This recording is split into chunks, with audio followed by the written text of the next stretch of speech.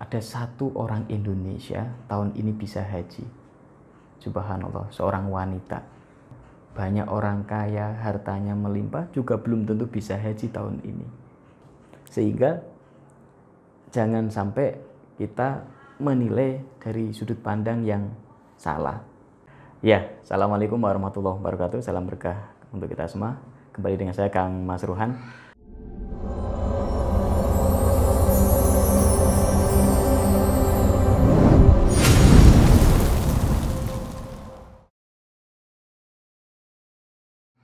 uh, hari ini masih dalam hari yang besar ya di Idul Adha yaitu hari suci bagi umat Islam yang di mana harusnya memang ini musim haji tapi memang tahun ini uh, warga Indonesia belum bisa berangkat haji karena kondisi larangan dengan uh, masalah penyakit corona.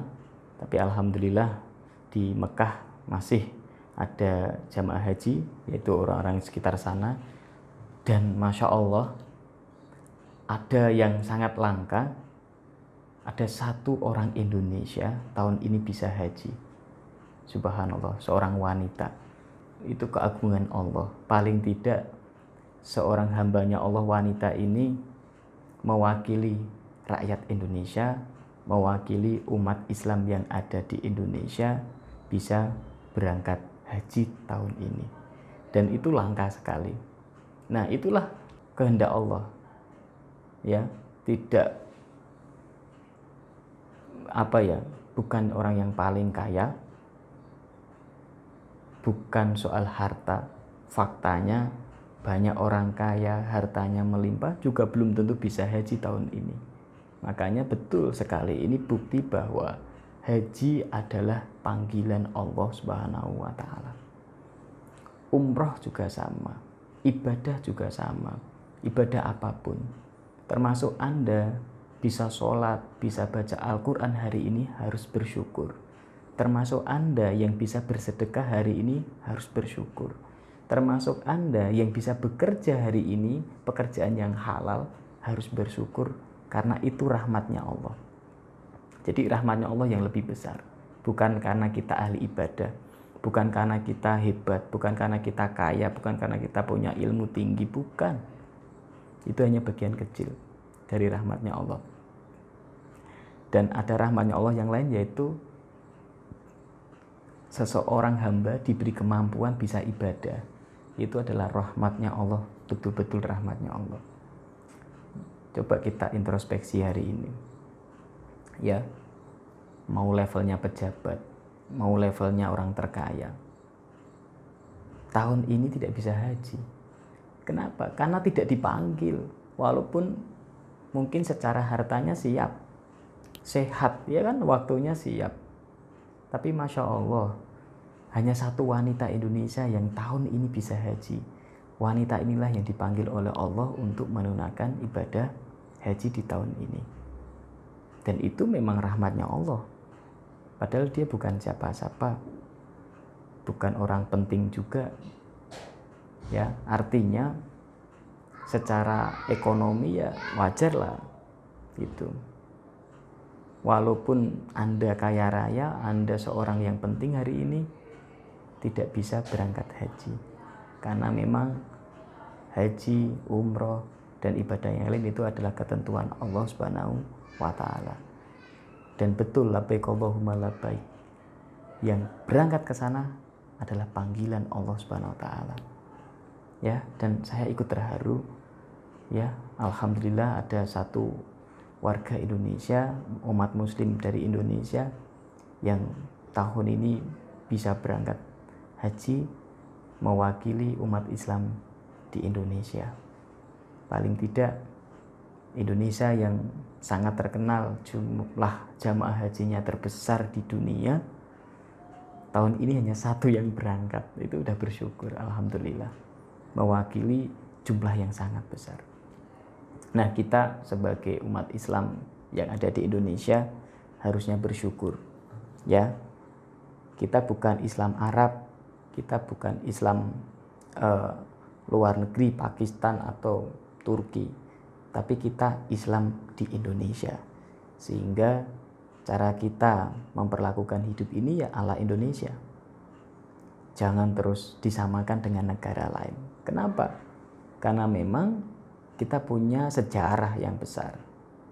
Islamnya adalah Islam Indonesia. Syariatnya tetap syariatnya Nabi Muhammad SAW dengan konteks sesuai dengan sejarah Indonesia. Nah, sehingga ayo bersama-sama jangan suka mengkafirkan temannya, jangan suka mengolok-olok orang lain, baik itu seagama maupun beragama yang beda. Islam mengajarkan rahmatalil alamin. Ya, kita harus saling mencintai, saling menghormati. Rahmat bagi semuanya. Kalau ada orang selamatan pakai tumpeng, pakai ketupat, jangan dibilang haram itu memang budaya Indonesia. Akan tetapi di situ ada tahlil, ada baca yasin, ada baca Al-Quran. Budaya Indonesia yang sudah diislamkan. Sehingga jangan sampai kita menilai dari sudut pandang yang salah.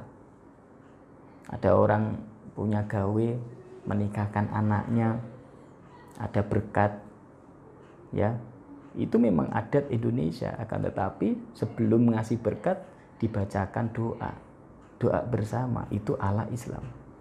Nah itulah eh, kebudayaan ya kultural kita yang hebat ini melahirkan pribadi yang sangat baik dan juga agama Islam bisa menyesuaikan dengan dakwahnya para leluhur kita. Sehingga ayo jadilah warga Islam yang rahmat yang penyayang yang santun sebagai ciri khas warga Indonesia. Ya. Sehingga jangan sampai ada emosi, jangan sampai ada kekerasan.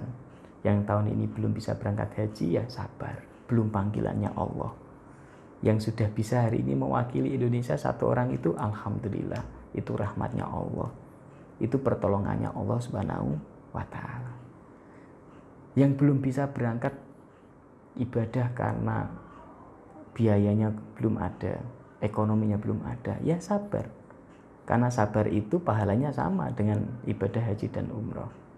Jadi kalau Anda mengalami ekonomi yang buruk hari ini, bersabarlah. Karena sabar itu pahalanya sama dengan orang yang beribadah karena hartanya. Jadi kalau diberi rezeki lebih, maka bersyukurlah. Jika diberi rezeki kurang, maka bersabarlah. Kan begitu. Pahalanya sama.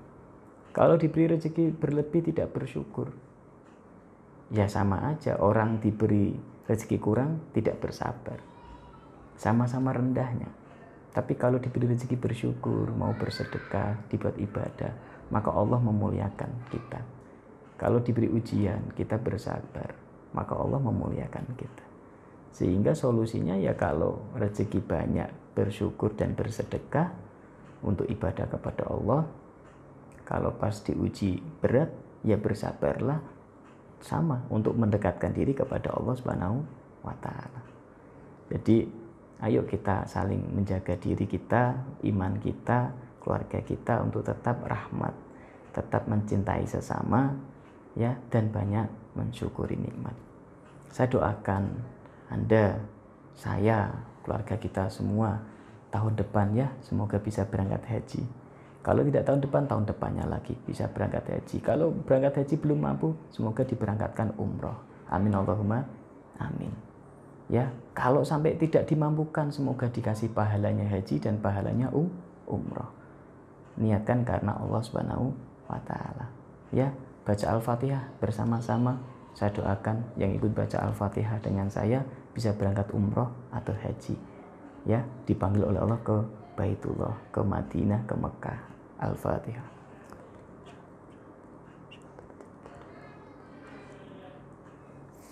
Terima kasih dari saya Kang Mas Assalamualaikum warahmatullahi wabarakatuh.